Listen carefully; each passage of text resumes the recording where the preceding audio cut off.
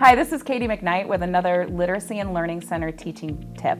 And I'm here with my colleagues Brenna Sherwood and Denise Evans, and we're going to talk about roles in centers. So sometimes it helps when the kids have different roles in the centers. And what a lot of teachers do is they use uh, popsicle sticks and they'll write the role for the students. So when the students come to the group, they each take one. Here, you guys take one.